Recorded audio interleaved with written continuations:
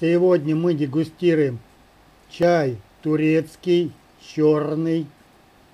Вот он находится в таком пакетике.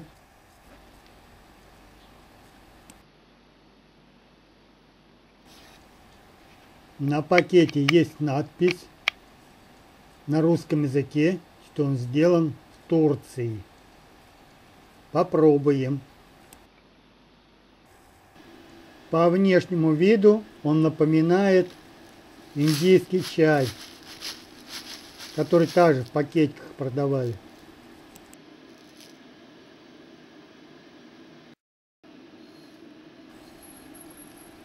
Засыпаем его в стакан, заливаем водой и ждем 15 минут, как написано на пакете, пока заварится.